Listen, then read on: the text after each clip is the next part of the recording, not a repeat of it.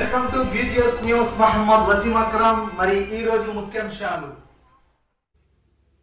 మహబూబాబాద్ జిల్లా డోర్నకల్ మండల కేంద్రంలో మీకోసం వెల్ఫేర్ సొసైటీ జోసెఫ్ మరియు మున్సిపల్ కమిషనర్ శ్రీనివాస్ ఆధ్వర్యంలో డోర్నకల్ పట్టణంలో స్కూల్ విద్యార్థుల మరియు మున్సిపల్ సిబ్బంది చేత పట్టణంలో భారీ ఎత్తున మున్సిపల్ ఆఫీస్ నుంచి గాంధీ సెంటర్ మీదుగా రైల్వే జంక్షన్ మీదుగా భారీ ఎత్తున ర్యాలీ నిర్వహించి పట్టణంలో ప్లాస్టిక్ సంచులు వద్దు గుడా సంచులు ముద్దు అంటూ నినాదాలు చేస్తూ ర్యాలీ నిర్వహించారు. అనంతరం కూరగాయల మార్కెట్ ఏర్పాటు చేశారు. సమావేశంలో ముఖ్య అతిథిగా డోర్నకల్ మండల సిఐ శ్యామ్ సుందర్ డోర్నకల్ మండల ప్రత్యేక అధికారి ఇంద్ర డోర్నకల్ మున్సిపల్ కమిషనర్ శ్రీనివాస్ పాల్గొన్నారు. ఈ సందర్భంగా మీకోసం వెల్ఫేర్ సొసైటీ అధ్యక్షుడు జోసెఫ్ మాట్లాడుతూ మహాత్మా గాంధీ మన దేశానికి స్వాతంత్రం కోసం తెల్లదొరలతో అహింసయే ఆయుధంగా పోరాడారని అందుకే ఆయన జాతిపిత అయ్యారు. గాంధీజీ కళలు సాకారం కావాలంటే ముఖ్యంగా డోర్నకల్ పట్టణ ఒక్కసారి వాడి పడేసిన ప్లాస్టిక్తో ఎక్కువ ముప్పు వాటిలో ప్రమాదం ఉంది అని అందుకే ప్లాస్టిక్ మనందరం ఒక్కటై గాంధీజీ తెల్లదొరలను తరిమి కొట్టినట్టుగా మనందరం జిల్లా నుంచి ప్లాస్టిక్ని తరిమి కొడదామని మన దేశాన్ని కాపాడుకుందామని గాంధీజీకి నిజమైన జయంతికి నివాళులు అర్పించుకున్న వాళ్ళం అవుదామని అన్నారు. అదేవిధంగా మేడారం జాతరకు వెళ్ళే భక్తులు ప్లాస్టిక్ నిషేధితగా జాతర జరుపుకోవాలని కోరుకుంటున్నానని అన్నారు.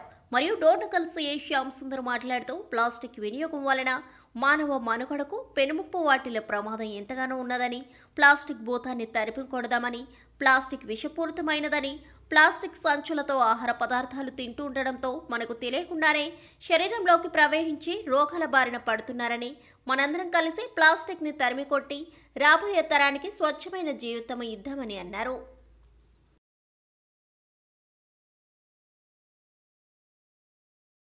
ఈరోజు ప్లాస్టిక్ రహిత పట్టణంగా తీర్చిదిద్దడానికి గాను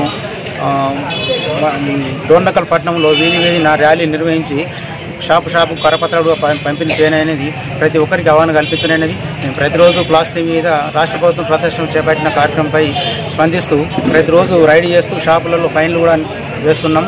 ఈరోజు కూడా ఉదయం కూడా దాదాపు నాలుగు వేల రూపాయల వరకు ఫైన్ జరిమానా విధించనైనది కాబట్టి ఈరోజు పెద్ద మొత్తంలో బహిరంగ సభ ఏర్పాటు చేసి ప్లాస్టిక్ మీద నిషేధం గురించి ప్ర- ప్రజలందరికీ అవగాహన కలిగే విధంగా సమావేశం ఏర్పాటు చేసి ర్యాలీ నిర్వహించి అందరికీ చైతన్యం తీసుకురావడం జరిగినది. కాబట్టి ఈ రోజు నుండి పట్టణ ప్రజలు అందరికీ మన్న ఎవరైనా అతిక్రమించినట్టయితే వాళ్ళ దగ్గర ప్లాస్టిక్ వస్తువులు దొరికినట్టయితే వారిపైన చట్టపరమైన చర్య తీసుకోబడుతుంది కాబట్టి ప్రజలందరూ గమనించాలని తెలియజేస్తూ ఈ పర్యావరణాన్ని కాపాడడంలో ప్రతి ఒక్కరూ భాగస్వాములు కావాలని అందరూ కూడా ఎవరికి వారు సొంతంగా ఈ గుడ్డ సంచులను వాడాలని ప్లాస్టిక్ను నిషేధించినట్టు అందరూ కూడా వాడకుండా ఉండాలని తెలియజేస్తూ అది ప్రతి ఇంటి నుండి మొదలు మొదలు కావాలని బయటికి వెళ్ళే ప్రతి వ్యక్తి కూడా ఏదో ఒకటి ఇంట్లో నుంచే ఈ గుడ్డ సంచులను వాళ్ళ దగ్గర పెట్టుకొని ఏ వస్తువు తీసుకున్నా కానీ దాంట్లోనే క్యారీ చేయాలని తెలియజేస్తూ అందరూ కూడా పాటించాలని మనం అందరం భాగస్వాములై ఈ కార్యక్రమాన్ని విజయవంతం చేస్తేనే ఈ భూమి మున్సిపాలిటీగా తీర్చిదిద్దాలని అందరం కూడా ఇక్కడ ఉన్న అధికారులందరం కూడా ప్రయత్నం చేస్తూ చేస్తూ ఉన్నాము. ఇది మూడోసారి. అలాగే ప్రతి ఆఫీస్ షాప్కి తిరిగాము ప్రజలకి చైతన్యపరుస్తున్నాము. మన విద్యార్థులకి కూడా ఒక ర్యాలీలాగా తీసుకొని వాళ్ళందరికీ కూడా అవగాహన చేయడం జరిగింది.